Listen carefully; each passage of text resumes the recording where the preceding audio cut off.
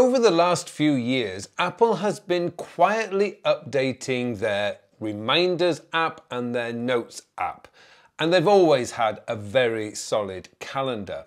But what this means is you can now use just the three tools that Apple provide you for free if you have a phone, an iPad, or a MacBook or iMac and you can develop a very solid productivity system that keeps you focused on what's truly important. And today I'm going to show you with a real project how the three tools work together. So let's get started.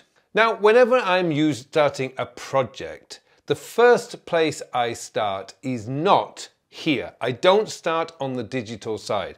I always start on with pen and paper. Now there's a very good reason for that, backed up by science I must add, which is you get a much better, you get much better clarity, focus and creativity when you're just using pen and paper. You don't have all the digital distractions from a digital device, but more importantly, you can go and sit as I do in the dining room and I can just have a couple of pens and my notebook and I will just brainstorm ideas about what the project is, what I think initially I'm going to need to do, and all the other little bits I need to be aware of. Now the great thing about using pen and paper also is you have complete freedom in terms of formatting. You can use capital letters, you can put little bits down at the bottom, up at the top, in the margins, all over the place. So the first place to start will always be pen and paper.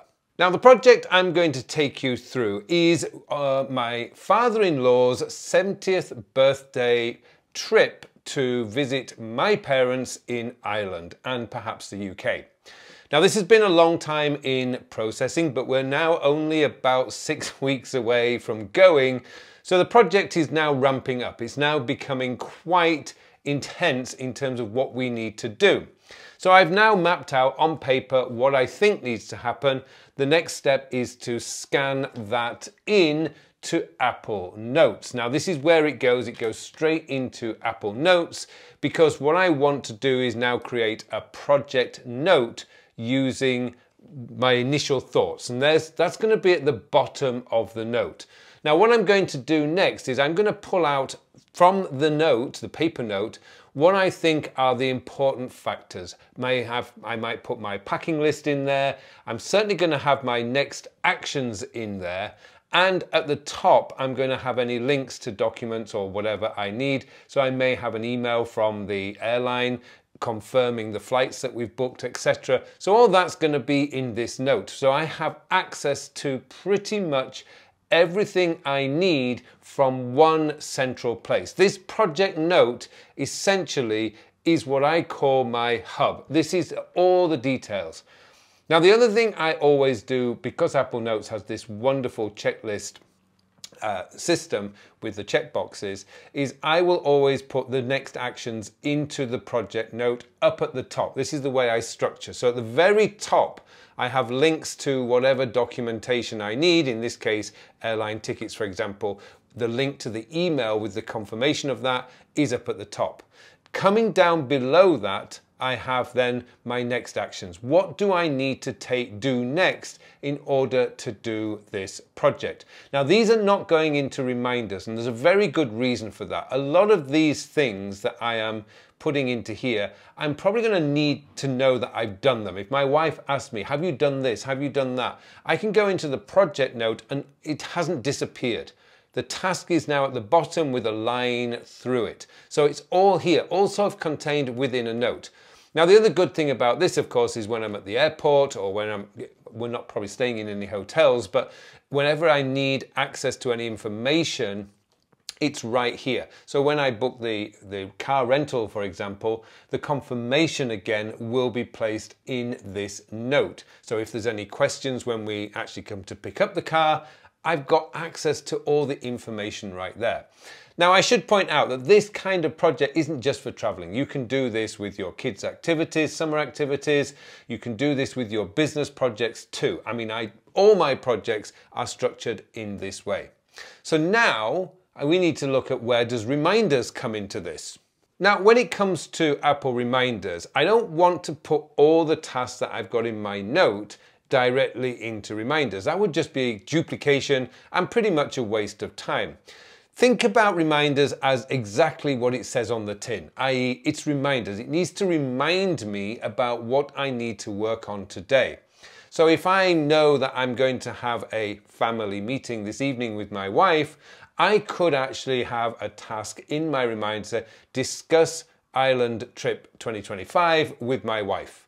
And that would mean when we have dinner or even after dinner, we can sit down with my computer, go through Apple Notes, and I can say, right, these are the things that I've been working on. And my wife can say, oh, I will do this and I can take care of that. And I need to check if my parents' passports are all up to date and ready. Pretty important thing to do. So that's going to be a task. Another one might be the book flight tickets. So I usually, I'm very careful about when I book tickets. I know about the airline algorithm. So if I go and check to see the prices and everything now, it will remember. And then when I go in, the price will have gone up or it will have some kind of algorithmic uh, dirty tricks, as I call it, to try and convince me that now is the time to buy. So I usually just go in when I'm ready to buy. So that's going to be in the next week or two. We will be buying the flight tickets.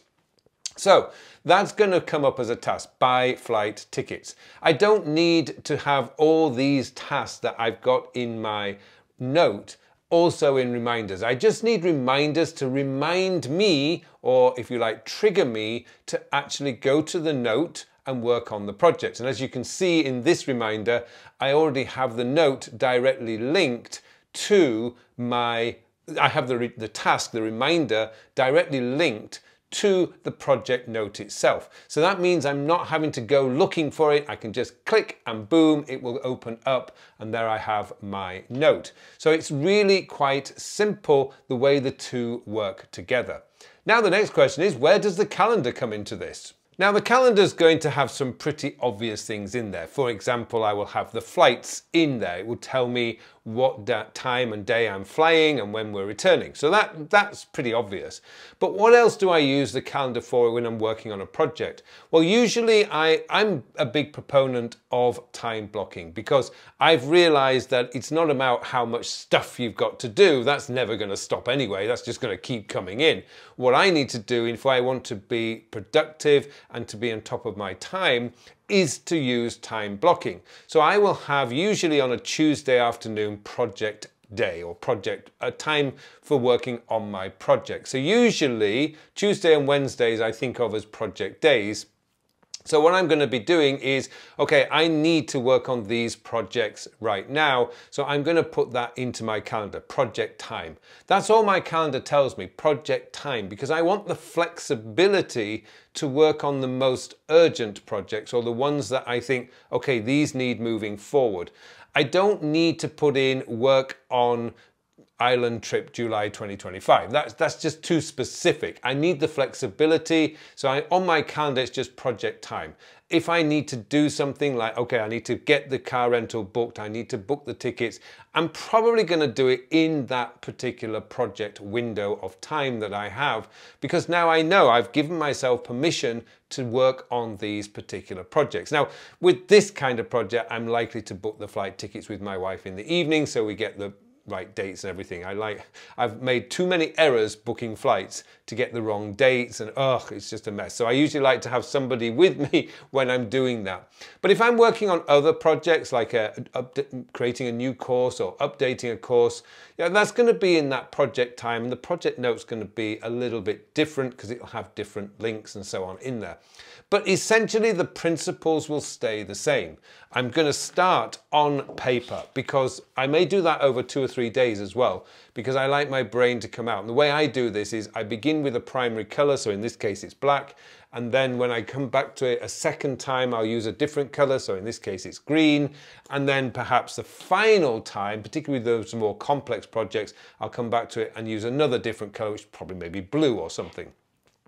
Once I'm happy and I've got emptied my head basically of all the ideas, then it will get scanned into Apple Notes and then I can use from there, I can pull out the important things and move them into the project note. Now, in case of this traveling project, I'm also going to put my packing list in there because I always generally have always put packing lists in my notes. I've never done that in my task manager or in reminders simply because what I want reminders to be is really clean and tight. I don't want lots of distractions in there. And a packing list is, I'm gonna be doing all that at one time. I've got my suitcase, I'm gonna put my clothes in it. I'm just gonna go to the note and go, have I got all these things? Check, check, check, check, check, job done.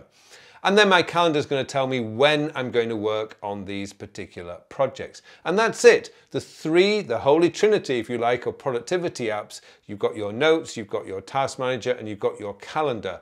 And all three are working together to ensure that you're working on the right things at the right time. And that's how it works. Now, whether you're using Apple tools or you're wanting to use third party tools, it doesn't really matter.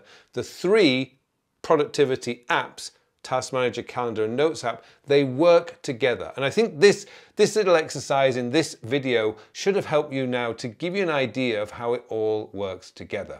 Now, if you want to see how I do this with Todoist and Evernote, this video up here will be the one to watch next.